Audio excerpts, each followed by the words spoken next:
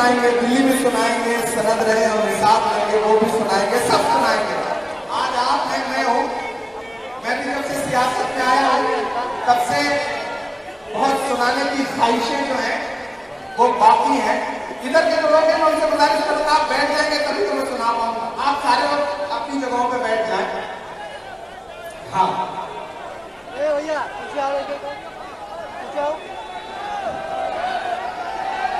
हाँ। मीडिया के साथियों से गुजारिश है थोड़ा सा आप लोग पीछे आ जाए। हाँ इधर के भी साथियों से गुजारिश है कि आप बैठ जाए, कुर्सियाँ खाली है। आदरणीय अध्यक्ष लल्लू जी, हमारे बीच पैदल कुमार लल्लू जी मौजूद हैं। मैं यकीनन बहुत दिन बाद आया हूँ, लेकिन आपसे गायबाना तारुफ रहा है। बहुत पहले यहाँ मुशायरों में आता रहा हूँ, और आपने उस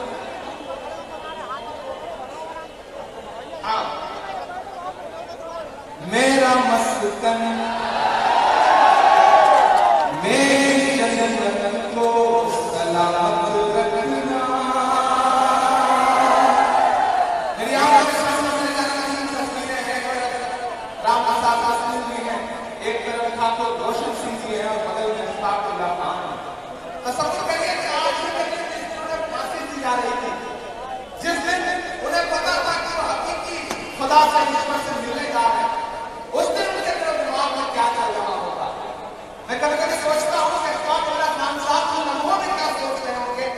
जब ये पैगाम आया कि चलिए फांसी का फंदा आपका इंतज़ार कर रहा है कि मेरा मेरी जन्नत को सलामत रखना, मेरे मेरे भारत को सलामत रखना।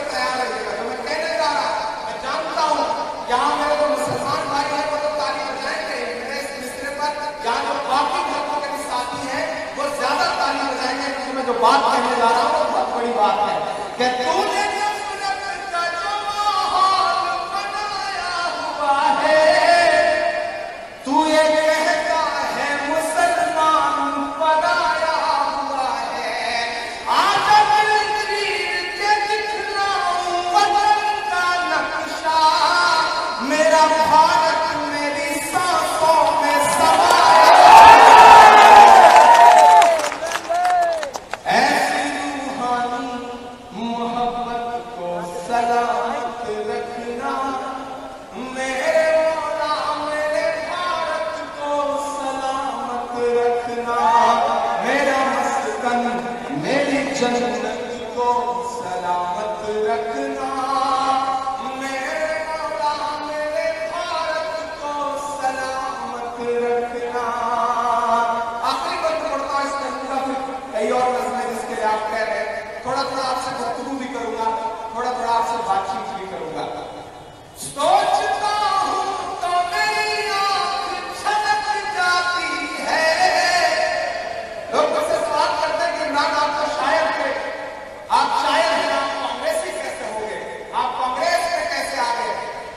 उनसे कहता हूँ मुझे देश के साथ खड़ा होना था मैं इसलिए कांग्रेस के साथ खड़ा हूँ। आप पिछले कुछ दिनों के तमाम वाकयात सोच लीजिए?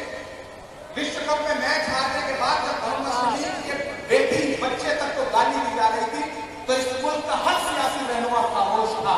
जिनको आपने पिछले तीस साल से झोली खबर के ओढ़ दिया वो अखिलेश यादव भी खामोश थे मायावती गांधी जी बोले, वो खड़े हुए और उन्होंने कहा कि नफरत के लिए इस मुल्क में कोई जगह नहीं है, ये मुल्क मोहब्बत का मुल्क है। जब विराट कोहली के साथ यही किया जा रहा था सोशल मीडिया पे, तब राहुल गांधी जी खड़े हुए।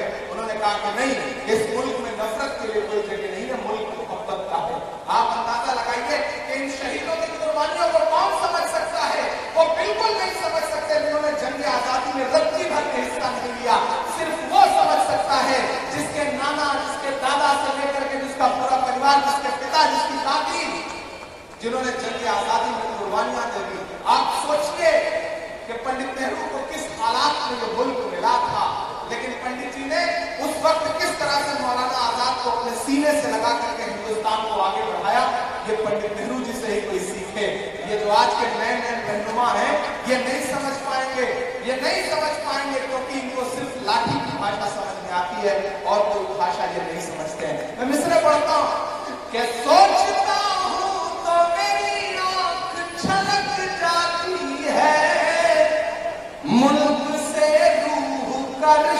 बड़ा जज्बाती है। समझ जाएँगे आप कामेश्वर लोग हैं? कि सोचता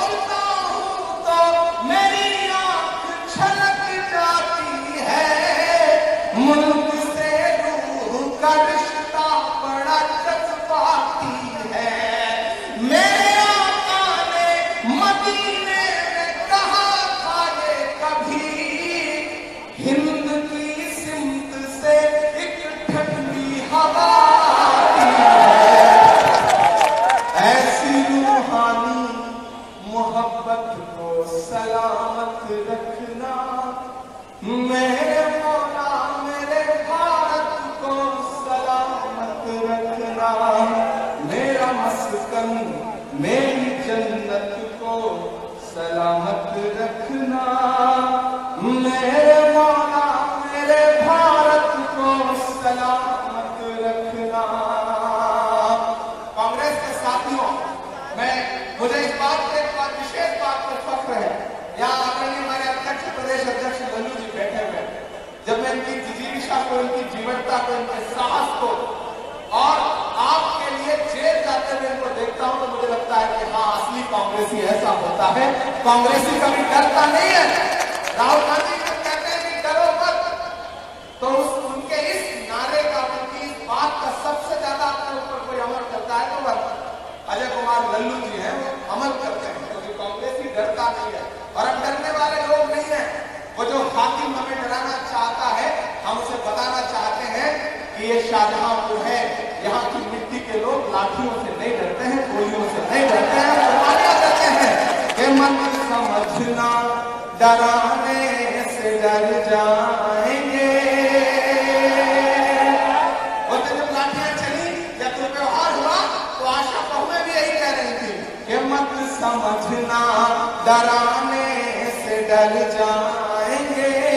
अब के सारी हदों से गुजर जाएँगे। मत समझना डराने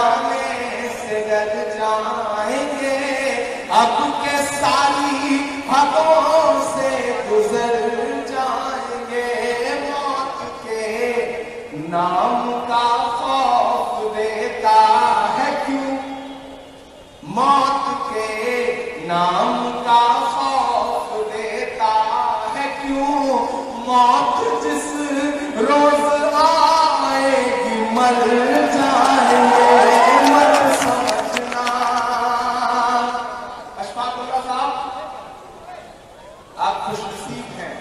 आपके कंधों पे इतनी बड़ी विरासत का बोझ है कि वो विरासत जिसे पूरा हिंदुस्तान जिस पर नाच करता है। कितनी भी सियासी महफिलों में बड़ी बड़ी बातें कर रहे लेकिन मुल्क के वज़ीर आज़म को भी यहाँ आकर के शहीद अशफाक को लखान को नमन करना पड़ता है, उन्हें याद करना पड़ता है। राम प्रसाद बिस्ती जी को याद करना पड़ता है, ठाकुर रोशन सिंह जी को याद करना पड़ता है। और इन्हीं से तो मिलकर के बनता है हिंदुस्तान। कांग्रेस यही तो है हिंदू मुस्लिम सिख ईसाई सबको मिला करके कांग्रेस ने हिंदुस्तान बनाया। लेकिन न जाने ऐसे कौन लोग हैं जो उस धागे को तितर बितर कर देना चाहते हैं। वो ये सवाल करते हैं कि कांग्रेस ने आखिर दिया क्या? हम बता रहे हैं कि हमने क्या दिया है। ये लोग झंडा लहरा रहा है कांग्रेस का। इसको अपने ध्यान में रखना और इमरान के मिश्र सुनना कि हमने समझ दिया दिया।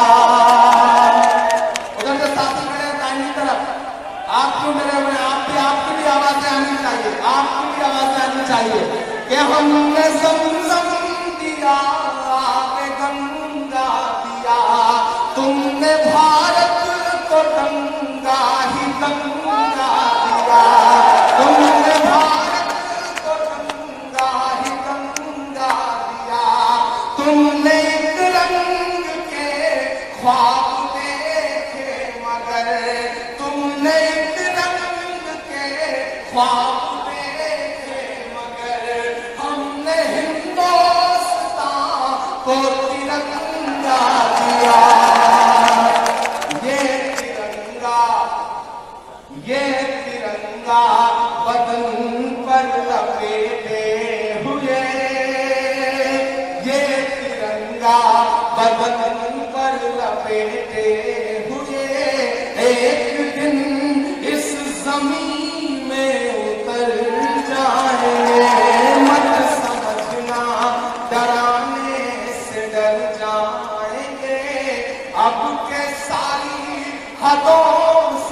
गुजर जाएँगे।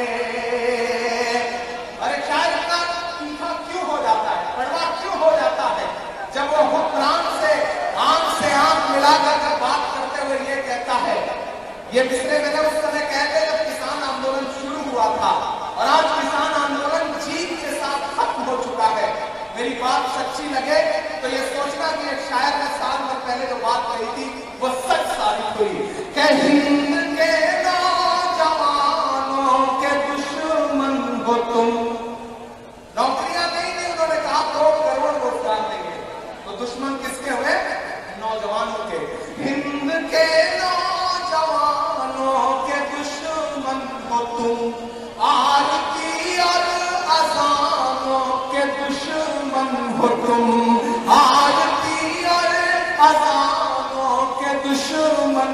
तुम पहले तो हिंदू मुस्लिम के दुश्मन थे, पर आज कल तो किसानों के दुश्मन हो तुम।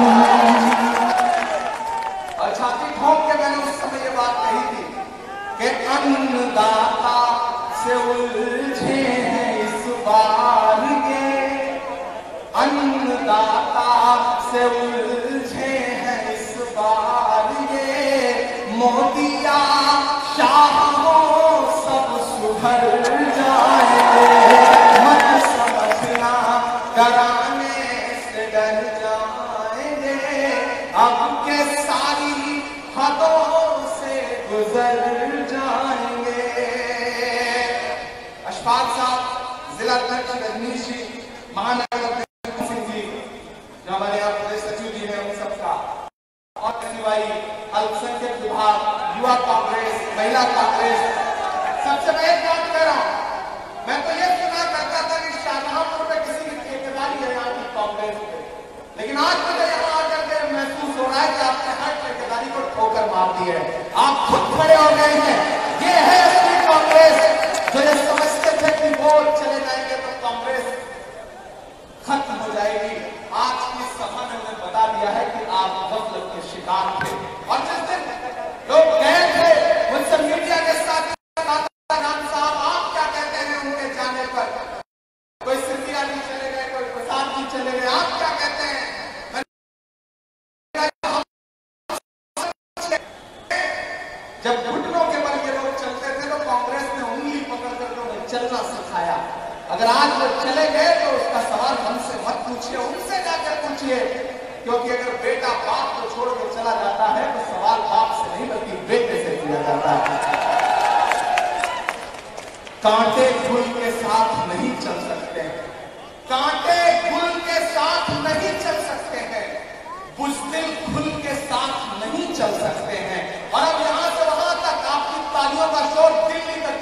कि मुश्किल खुल के साथ नहीं चल सकते हैं, कांटे गुल के साथ नहीं चल सकते हैं।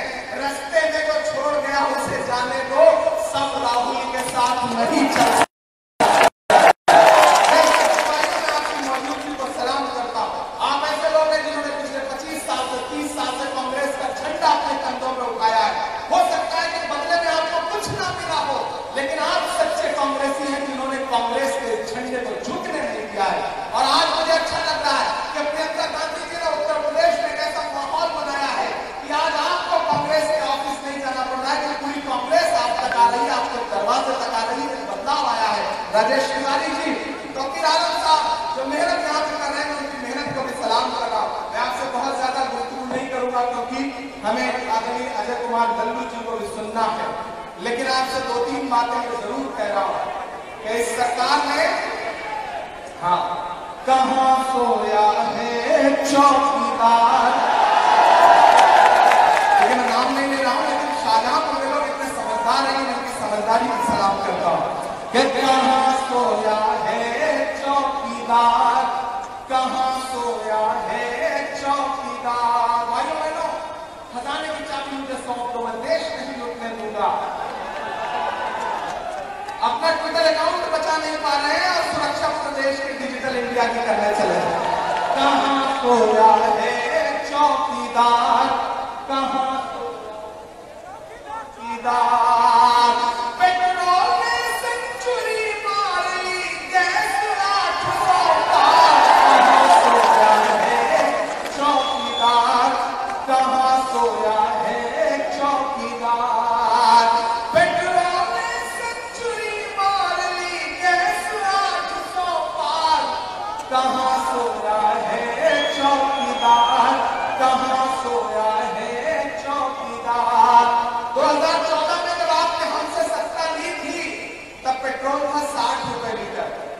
डीजल का पचपन रुपए अट्ठावन रुपए लीटर। आज कितने में है? सेंचुरी के करीब पहुँच गया। डीजल दाम पहुँच गया सेंचुरी के करीब पहुँच गया। लेकिन एक चीज़ आपने गौर नहीं किया, अभी कुछ सीटों पे उपचुनाव हुए हिमाचल में चार सीटों पे कांग्रेस ने उपचुनाव में भाजपा को हरा दिया और अगले दिन दस रुपए पेट्रोल सस्ता हुआ और पाँच रुपए डीजल सस्ता हुआ। अब मैं शाहजहां में खड़ा होकर ये कह रहा हूँ चाहते हो कि पेट्रोल फिर से साठ रुपए लीटर मिले, डीजल फिर से पचास रुपए लीटर मिले, गैस का सिलेंडर फिर से तीन सौ साठ रुपए लीटर, तीन सौ साठ रुपए का सिलेंडर मिले। तो भाजपा को हटाओ कांग्रेस को लाओ और कोई विकल्प नहीं है कि आपके खजाने को लूट करके उद्योगपतियों का खजाना भर रहे हैं मोहब्बत भाईचारे के दीवाने दिन भी लौटा दो वो सस्ती दाल सब्ज़ी के सुहाने दिन भी लौटा दो ये ये अच्छे दिन तो अंबानी अडानी को मुबारक हो। हमें ऐसा करो, साहेब, पुराने दिन भी लौटा दो तो तो की के को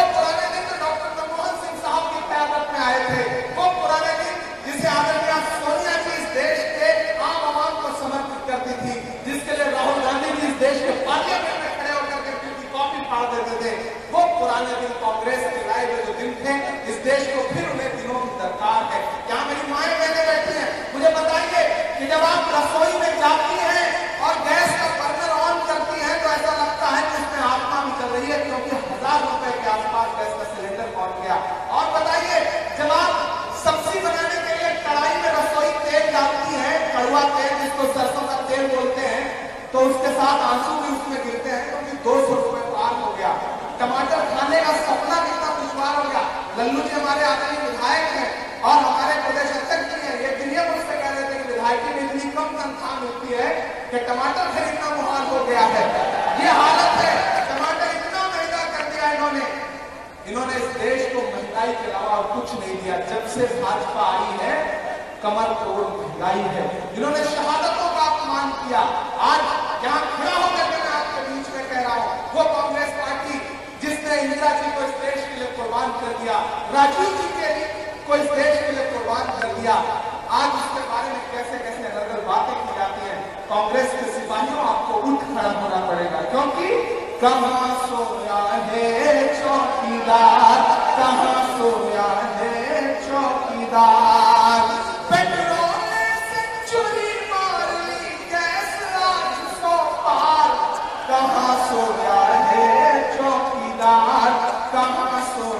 है चौकीदार? अंतिम क्योंकि बहुत दूर जाना है। कि चाय बेचने वाला पूरा भारत बेच रहा है। ये बात तो मैं तो व्यंग कर सकता मैंने आज तक बहुत तलाशने की कोशिश की पूरे देश में एक प्रधानमंत्री की बनाई चाय कोई नहीं मिला मैं ढूंढ के चाय बेचने वाला पूरा भारत बेच रहा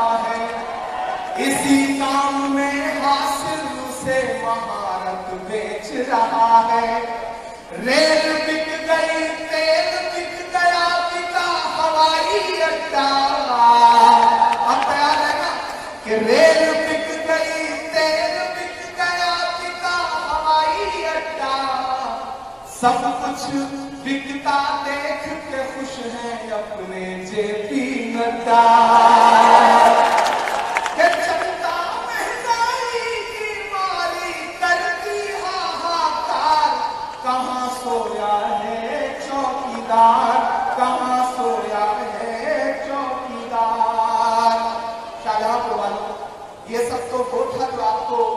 जोड़ने के लिए और आपका सुबह से आपने बहुत भाषण सुने थे तो मैंने सोचा, थोड़ा सा आपका मन हल्का कर दूँ। लेकिन अंत में जाते जाते इतना कह रहा हूँ जो सपना शहीद राम प्रसाद बिस्मिल जी ने, ठाकुर रोशन सिंह जी ने, शहीद अशफाकुल्ला खान जी ने देखा था, वो सपना बहुत खूबसूरत सपना था। एक दल है जो उस सपने को बर्बाद कर देना चाहता है।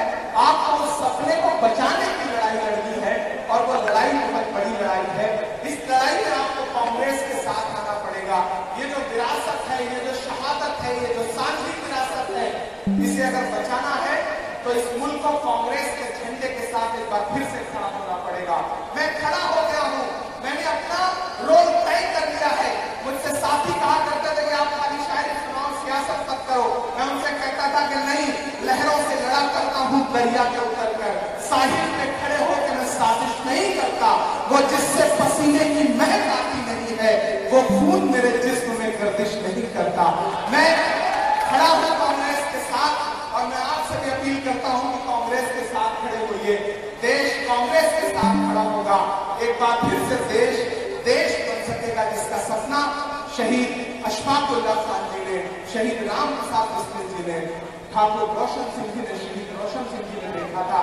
इन तीनों बड़ी शख्सियतों को खराज अकेदत पेश करते हुए अल्पसंख्यक विभाग की तरफ़ से, पूरी कांग्रेस पार्टी की तरफ़ से आपका एक बार फिर से शुक्रिया अदा करता हूँ।